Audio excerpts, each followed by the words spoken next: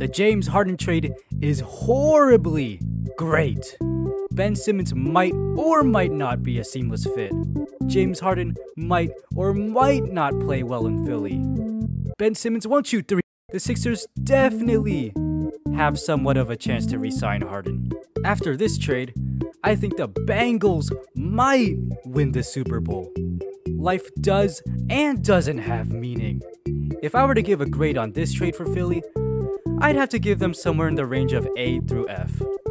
I'm gonna have to be blunt with Brooklyn, but they're going to get a grade somewhere between A and F. Subscribe for more incredible hot takes with Cheesy. Yes, the 5 is supposed to be an S. I might or might not have thought of making this video just 20 minutes ago in the shower.